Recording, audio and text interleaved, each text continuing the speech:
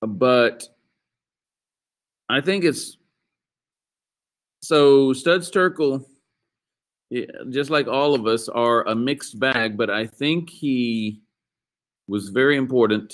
Um, he has been influential in helping me see some things. Um, he was obviously he's a Democrat. He's an atheist, but he's had he's worked very closely with some very interesting people. I don't know if y'all remember the um, gospel singer Mahalia Jackson. So Mahalia Jackson got a job on the on NBC back in the end of the 50s. Okay. And Studs Terkel, she wanted Studs Terkel to be her producer. Now, Studs Terkel had, because of his Democrat leanings and um, outspoken viewpoints, he had gotten his name on McCarthy's red list, uh, you know, as a possible communist sympathizer. He's not a communist, um, obviously, but he had gotten his name on that list. And so NBC didn't want to touch him with a 10 foot pole. Um, and Mahalia Jackson said, Well, you know, my can- contract is null and void. Studs has been producing my show for years. You know, if you don't if you don't get Studs, then you're not going to get me. And so NBC hired him, and you know, the Mahalia Jackson show, you know, ran that gospel segment uh, on Sunday mornings there for the next 10 years or whatever. So anyway, he's had really good, you know, he loved uh, Mahalia respected her, respected her religious views, even though he didn't agree necessarily with them. So anyway, Studs is a very interesting guy.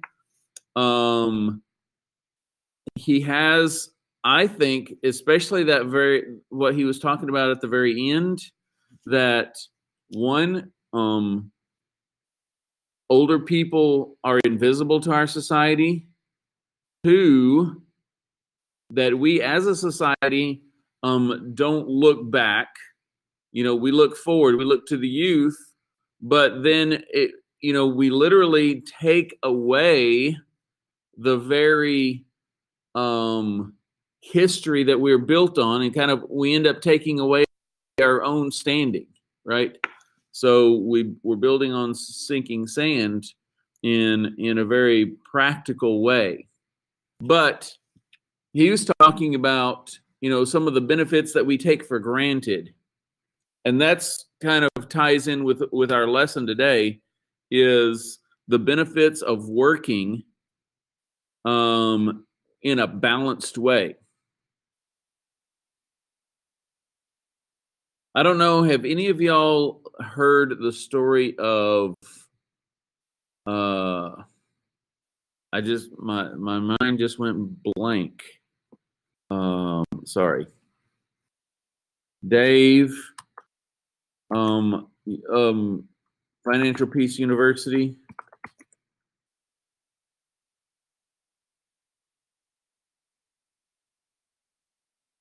Dave Ramsey, there it is. Dave Ramsey.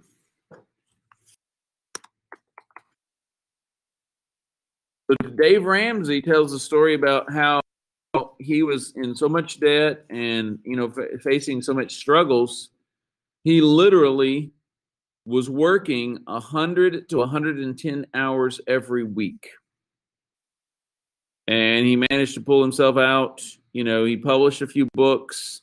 And now he goes around and tells everybody else how to, you know, how to manage your finances, how to be, you know, in the, in, you know, how to not go into debt and how, if you're in debt, how to get it paid off in a timely manner and things like that. Very important information, right? Um, but you see this this kind of financially you have this uphill battle in order to get to a place where you can have some comfortable living all right so um while you know in this lecture i'm i'm promoting um, the importance of a healthy work to rest lifestyle, right? Um, a healthy variety of options. Let me read the introduction here to our chapter. Says, You may ask yourself, how do I balance my workload between school, work, and family, or leisure, or, you know, whatever? How can I find the time to meet up with my friends this week or this weekend? Or I have an exam in two days, but I'm working late night tonight and late tomorrow. So when can I squeeze in the time to study? You know, these questions about how to balance our time, how to prioritize our time, how to use time effectively. You know, everybody has the same 24 hours a day. Some people say, oh, I don't have time. You have as exactly as much time as Bill Gates has, right? He has 24 hours in his every day, and he has seven days in his every week. It's what you do in, in those days and what you prioritize and what you think is important and how you work during those times that makes a difference. I think if we can get a hold of that point, we all have, and this is something that I've struggled with, I, I still struggle with um, uh, prioritizing and I think it's just part of the human experience, right? We live in time. We we're not um, superhuman yet. We're not spirits that can exist out of time, and so we have to live within the confines of time. Let me say something else. We have to live within the confines of our bodies needing food and our bodies needing rest. If we try to ignore those two things, rest, food, time, space, right? Um, you know, we can't be in two places at the same time. So it's going to take us time to move from one space to another. All these factors have to come together in order for us, um, and so we have to think through these uh, these issues, um, especially when it has to do with our career. Me and my brother were talking recently. Um, he uh, went off to college, um, almost got done, came back to Mississippi, finally went to USM and finished. Went ahead and got his master's, one extra year, got his master's, and then he went back to Virginia. That's what he had fallen in love with. He went back to um, the um, to Arlington area, Virginia, North North Virginia, D.C. area, and got a job and ended up doing pretty well for himself, actually. But Virginia is one, uh, Arlington is one of the most expensive places in the nation to live, probably after New York or LA or something like that. So, you know, you um he he's trying he was trying to make these decisions. Um, it, he was, you know, working in the Pentagon uh, or at least a couple of days a week, a month. Sorry, he was in, in, the National Guard, and so he would go and drill and work in the Pentagon and work with some of the um, Department of Defense contractors. And if you're living out so that you can live in a cheap house, but then you're spending two and a half to three hours a day in traffic just to get to work and back, you're losing that time. Well, it, potentially, right? Um, some people choose that lifestyle and they use that time to do many things, right? They choose to use public transportation, like they'll use trains. And so they'll sit on the train, they'll write their email, they'll catch up on their reading, you know, and they'll they'll make that their personal time, right? They'll make that their de-stress time. Um, on the on the commute on the train coming in. Um, but you have to figure out, right, all these complexities that put pressure on us as humans and balancing them out. Um, so finding a, a good um, life work balance, I think, is important. The other thing is, um, uh, I think me and Terkevius were talking about this. Um, you don't want to work in a job that is drudgery That's understandable, right? You want to do something that is fun, exciting, that you don't hate going to work. However, again, under the curse, under sin, um, work ha- is inherently drudgery. Actually, this goes back to Studs Terkel. Studs Terkel wrote a book, one of the biggest collections of interviews of your average working class people. It's called Working. That's the name of the book. 900 interviews of working class people. And, you know, people are honest there. You know, work is work. It's hard. It's tough. Um, most people don't have the luxury to do whatever they want to do, and yet you can still find purpose. You can still find meaning in your um, in the work that you do, right? So you're going to have to decide um, one find meaning in what you're doing or else find something else to do. Two, that you're going to have to be okay with some amount of drudgery because uh, at the end of the day, you know, um, one of the most meaningful things is your family.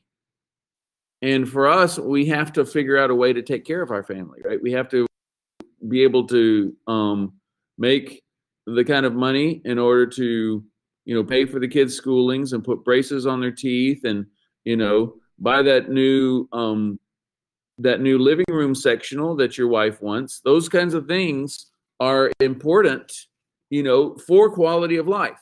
You know, so even though you, there's always going to be this trade-off between doing what you don't like versus doing what you do like, um, you, you know, and honestly, the Lord has to, to, to help us find that balance. But look for that balance.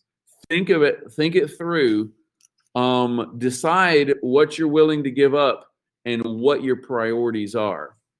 So I think that's one of the main things um, that uh, that deciding how to work is important is, um, forces us to do is decide what our priorities are, right? Um, just like you can't be in two places at the same time, the same uh, this these are physical principles, right? This is the way God made the world. Can't be two two places at the same time. At the same time, you can't physically two things can't exist in the same space at the same time, right? You have this if you try to put two two objects in space in the same space at the same time what happens? They're going to clash. They're going to crash. They're going to bang into each other and one or the other that's weaker is going to end up broken. I mean I, I know that sounds funny but um that's just physics right? The same is true. You try to do two things at the same time you know, you can't do it. Um, you have to prioritize. And so saying yes to one thing means you're saying no to a whole bunch of other things. If family is priority, then that means you may have to take a little bit less paying job, but that you can get off early enough to come home and spend time with the family. You may have to stay, live in a little bit smaller house or an apartment in order um, in order to live close to work so that you're not spending all that time in commuting.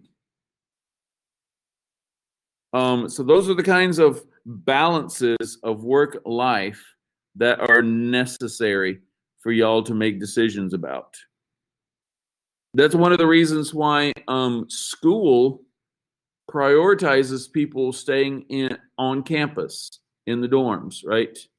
Um, school is one of the best places where you can where you can have an efficiency of time, but usually people um, end up kind of wasting that whole uh, opportunity that they have, right? They literally um, live a five minute walk from where they're studying. Right? They have access to the to the library three more minutes away, and they have access to food that's handed to them on a pl- on a platter two minutes away. So they're not um, doing any food prep, um, any preparation for for home, um, and so they can literally spend all this time um, focusing on their studies. But obviously, um, you have to be able to pay for that, right? Um, and so there's this trade off um, for that convenience, for that opportunity. Um, I take advantage of the cafeteria because um, it's it's a convenience, right? I can walk in and get a hot lunch and sit down and eat, and and not spend time um, on, in food preparation. Now, whenever I'm home, whenever I'm home with the family, and food preparation is a you know is a group effort, and we and that's part of our family time, right?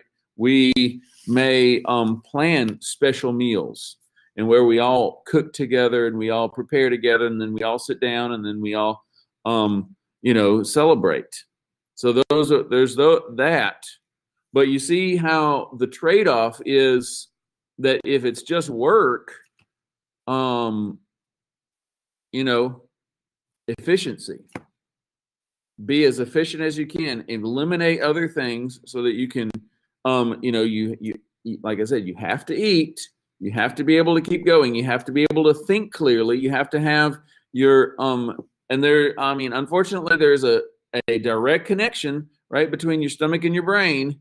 And so eating sufficiently it gives you a calmer, more focused way of being able to work.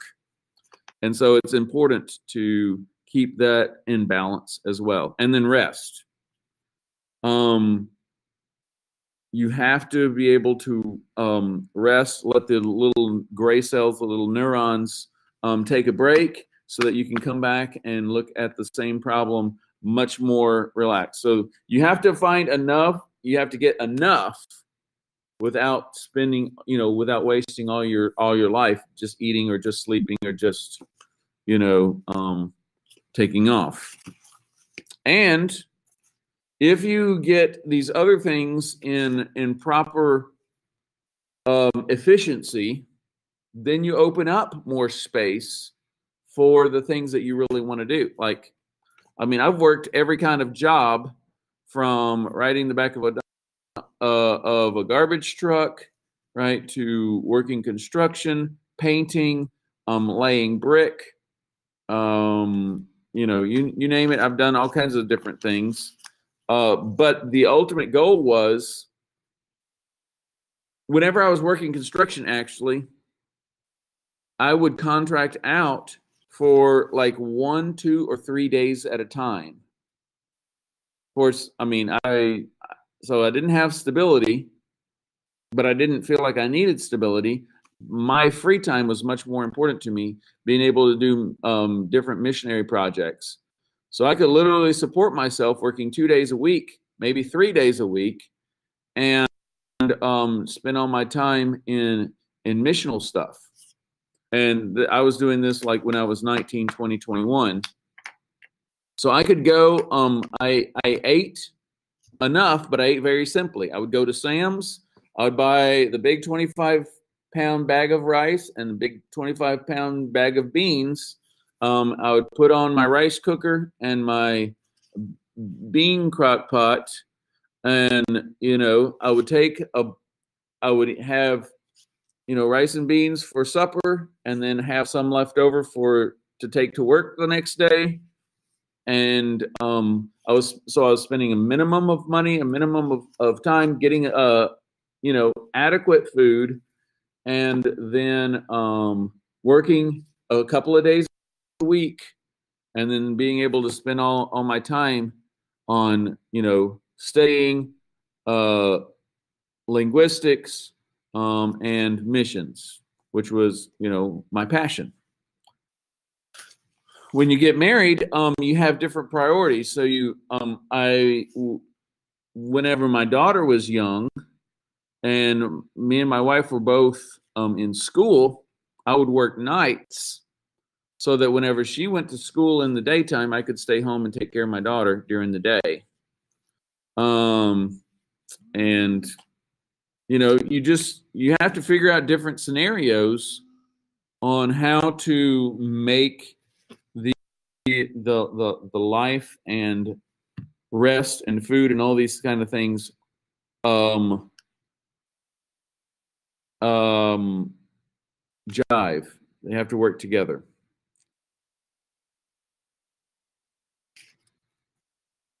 Okay. So um let me go ahead and share with you my powerpoint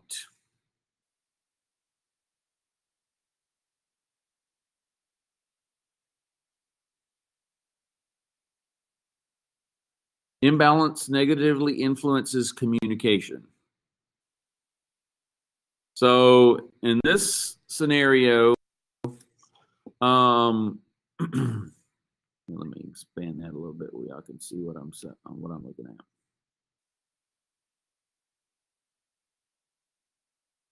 Where are you?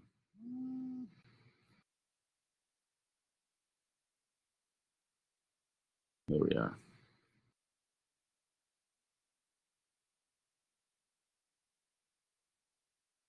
Imbalance um, in these areas um, makes us can make us you know irritable on edge and then unable to to work together to to really spend the quality time that we want to with the people that we love. Um, balance fosters meaningful relationships. And so being able to to keep our our time and our health and our um, you know availability, our social life open, um, creates room for meaningful relationships. And I, after all, I think to me that is the most important thing is the relationships that we're building. Okay, so um, you see some people who are extremely driven who um, have no time to get married have no time for you know they will hang out with their their you know with a few friends after work every now and then but most of the time they're spending on where they're spending time in work and they don't have time for other people and they end up you know kind of miserable and actually without any friends. So being able to maintain that balance i think is is really important boundaries. I um as I said before, saying yes to one thing is saying no to everything else, right? So yes and no is creating boundary lines and you can't say yes to everyone. That's a that's a physical impossibility, right? It goes against the law of physics. Two things can't exist in the same space at the same time. You can't be in two places at the same time. So you have to respect the laws of physics that apply to us as humans. Um, and then uh, work life balance, um, we need others. We need our um, a community. And I, I have come to understand that more and more, um, particularly in terms of a church community, a church family. So in my life, my church family is the most meaningful relationships in my life. They become our family. Um, partly of this is because um, my biological family were close, but we have always been like all over the world. My parents have been missionaries. They've been in many different countries. Um, my brothers and sisters live in different towns and, and cities of, of the country. Um, I have a brother who, you know, the last four years he's been in Germany, um, working in, in special forces uh, with uh, with the with the, uh, the army. I have another brother who's, you know, like I said, worked in D.C. And um, then my sisters, some of them live, you know, an hour away, two hours away, three hours away. And so my my church community, the ones I see every week, right, two, three times a week, that is my family, right? We work together, we share our burdens, we share our struggles, we help each other out, um, all everything that makes up being a family. And so this community to me is the most important thing in my life. And so being able to participate in a community like that, and also I, I feel like my work is kind of an extension of my existence in, in church, right? Um, my contribution to society is motivated by my religious belief. Um, because I am a Christian, you know, then I believe in serving others and and particularly serving others in training and teaching and, and preparing people and, and giving them the, the kinds of skills to have the most meaningful life. So I think communication is the best, you know, the best job in the world. I really do. That's why I'm in communication. That's why I teach foreign language, you know, communication in other languages as well as English, because I think that's the most um, meaningful life in the world. So, but again, there are struggles. There are tr- um, there are there's a certain amount of hard work and drudgery that goes into dealing with people, right? People are people. They're very complex. They have many um, many aspects to them, and all their aspects don't always go 100% with my aspects, right? And so I'm sure people find me also hard to deal with and hard to get along with at times. Um, but in the end, it's worth it, right? So the drudgery um, does not take away from the benefit and the value that I find in this kind of work. Let me read a couple of definitions here from the book. Another term important to this discussion is community, a geographic space identified as a place to work toward a good life. That's interesting. A geographic space. Um, COVID kind of has changed that definition just a little bit, right? A lot of our community spaces are actually virtual spaces, unfortunately, right? We spend more time here looking into the camera. what did Studs talk about? He's he's talking about his his view on computers. He says you're looking into the screen like you're peeping into other people's lives, and it's almost like a peeping tom. Um, uh, I'm not saying that he's completely wrong there, but um, yeah. Anyway, it's it is a less healthy form, but in these cases, it's necessary. It's it's the form of of communication, the form of community that we um, are kind of pushed into because of circumstances. The term community has a number of historical uses. For example, developing a place with boundaries that identifies a neighborhood. So for some people, a neighborhood is a community. Um, whenever I was studying uh, Orthodox Jews, Orthodox Judaism, um, especially Orthodox Jews have very strict rules about um, distance. Like um, you can only walk so far on the Sabbath day, right? I don't remember if it's 200 paces or 150 paces or something like that. Um, 150 paces outside of your home. But Orthodox Jews also kind of made a loophole where all uh, like groups of Orthodox Jews would live together in the same communal area, you know, the same houses within a, a short area. And literally, there would be a fence around this communal area, and that was their home. So, as long as they were walking within the communal area, that didn't count against their their steps um, on the Sabbath day, right? It was only whenever they stepped outside the communal area that it could count against the steps on the Sabbath day. So, you know, you could take your kids over to the next door neighbors to stay, um, or y'all could go together um, over to, you know, the next door neighbors to eat to eat lunch, and um, you're not violating the Sabbath by walking too far. So, communities um, create these different rules on how they're going to interact, which is a very interesting concept in itself. Um, also, community marks out who lives inside and who lives outside, right? There's this interdependence of people that you're going to live inside and outside with. Um, and many times it's ideological. So um, I know perhaps y'all have heard the term tribalism.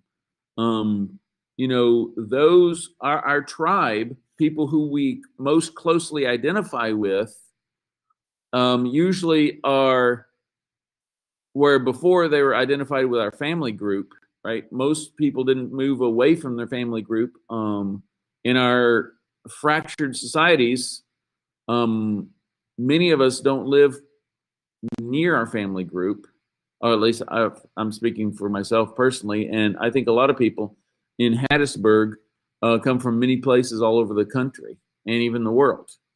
And so, living away from their family group, they have to um, identify a new tribe. Either they identify as Hattiesburgians, right, or they identify with certain ideologies or certain characteristics, right? Everyone who has red hair, right? The red haired league. Um, that is their tribe. Or people who walk with, um, you know, with a funny gait, or you know, any number of of communal definers. To attract the best candidates, companies often talk up the, their community or the culture where the company is located. For example, here's one um, and this is from Houston. Um, I, I, me and my family lived and worked in Houston for a couple of years. Here, one company says most of our employees live in the woodlands, and it's just a short commute from Houston with some nice housing options, great shopping, and excellent schools. The term community is also informative to ethnic minorities, right? People with disabilities, professionals, uh, People want to work and live in communities where they feel safe and they feel included.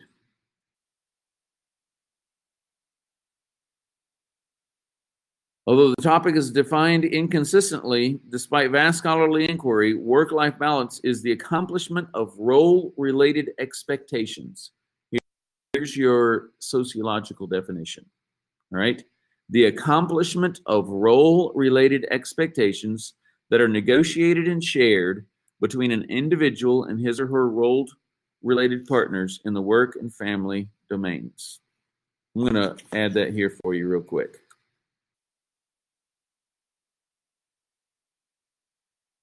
Definition of work life balance. Judge, um, this is my definition for this round.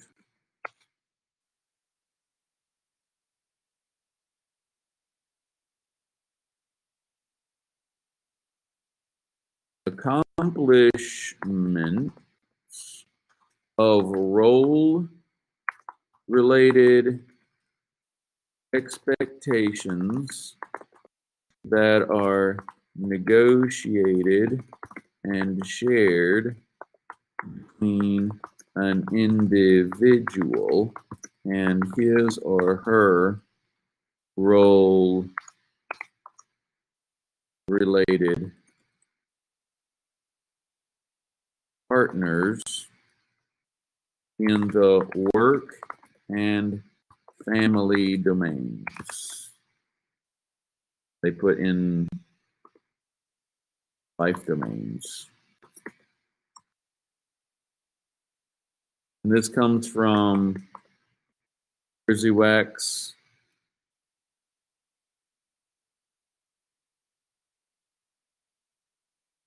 And Carlson, 2007.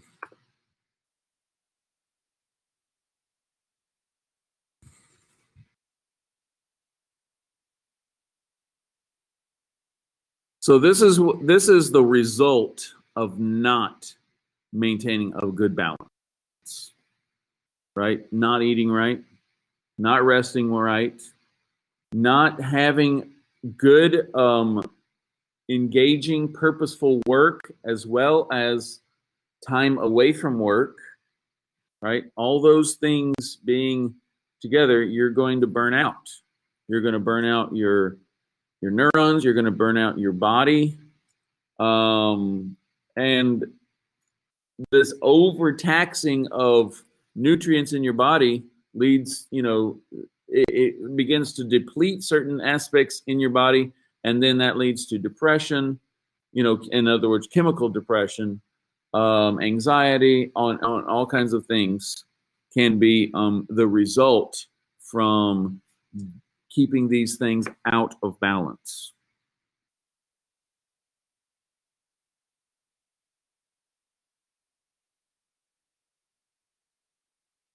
Um, a lot of Studs Terkel in that interview mentioned how how many people uh, from the early days um, fought for, you know, through the labor movement, fought for the the things that we take for granted as um, benefits of of work, right? Whether it's um, work hours, right? Whether just just respecting people as people rather than seeing them as you know expendable um, from the medieval times the wealthy landowners had the serfs who lived their land and worked the fields and they would simply collect the taxes of, of food and grain and whatever was grown right which was very little more than slavery in itself. Um, the fact that uh, people were expendable and didn't have, you know, the right to their own labor, right, or to the benefits of their own labor, or or or that other people had rights to their labor, is a benefit that we take for granted. But today, um, we live in one of the the most um, affluent societies with the most benefits for the worker. I'm not saying the most, right? And there's plenty, plenty of problems, but living in a in a time of peace, very little war that has directly affected our lives, um, with a living wage you know where we can actually work and and come home and you know and have decent uh, a decent life um have decent food right? Um have decent clothes and decent meaningful relationships. This is a benefit that we can be very thankful for. And companies in order to promote more effective i think companies are beginning to realize that in order to to get better results from their labor from their people right if if they're if you're defining labor in terms of people is to maintain people in a, in the healthiest condition possible. That's talking about healthy mentally um, physically um, and so giving them time off, giving them uh, decent wages, um, benefits the company because then whenever they come to work, they're going to work more efficiently. They're going to their productivity is going to be higher and everything like that. So from a business standpoint, it makes sense to take care of your um, wages, and from an individual standpoint as well.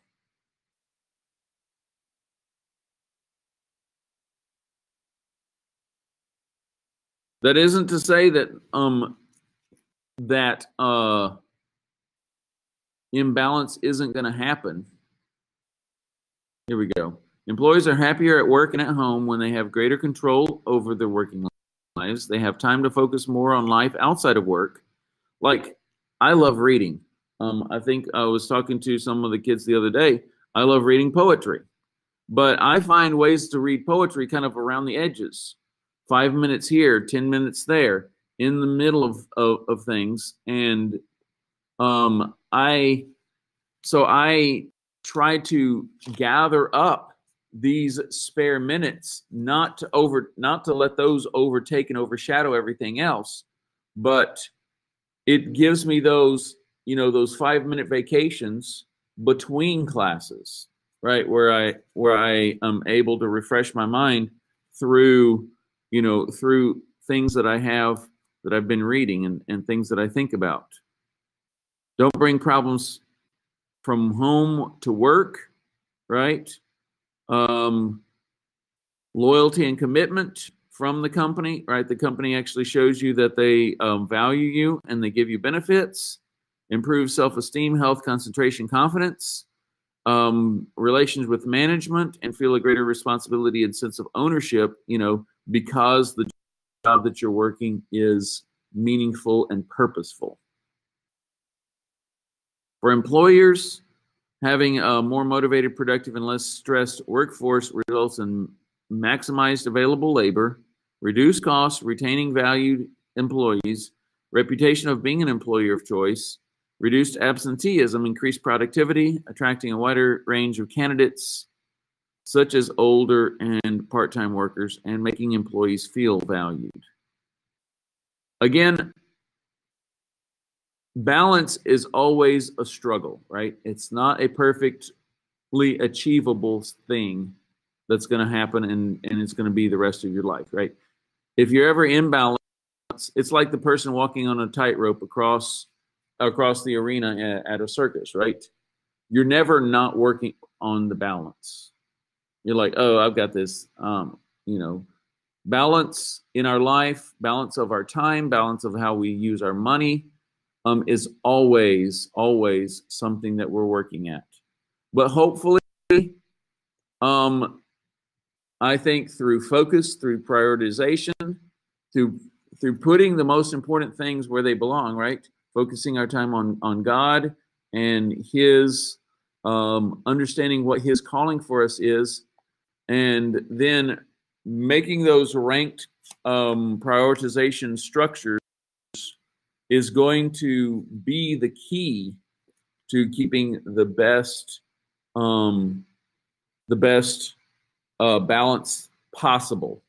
And so, with that, I'm going to give you one verse that um, will uh, hopefully help you. Um, and it is, uh, I know many of you probably already know it but I'm going to type it in here anyway because it's it's such a powerful verse to me.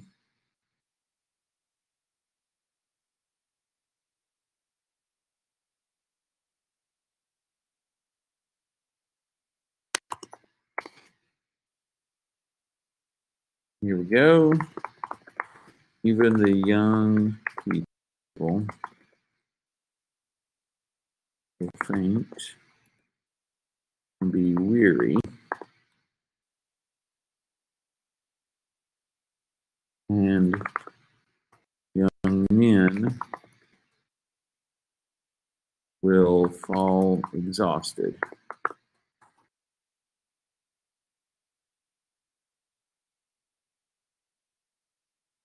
But they wait on the Lord will renew their strength.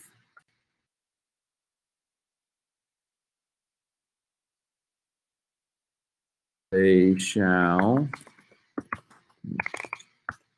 mount up with wings as eagles. What does an eagle need to stay to mount up? They need balance, right? They literally live and die by the the pressures of physics, right? The wind under the wings, the the tuning, the finely tuning of the feathers, in order for um but at the same time they're not constantly flap flap flapping right they don't have to work hard they just have to stay um, in tune with the spirit, with the air around them, and keeping in that balance.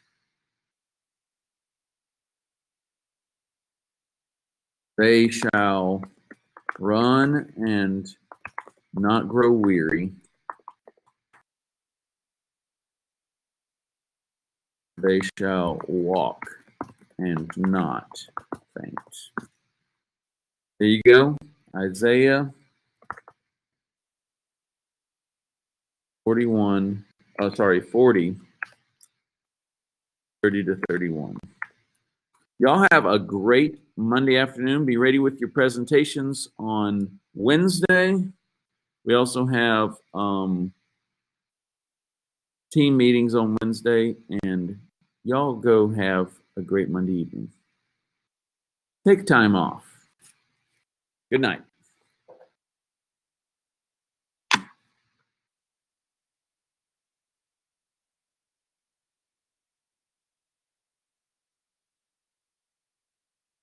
You are currently the only person in this conference.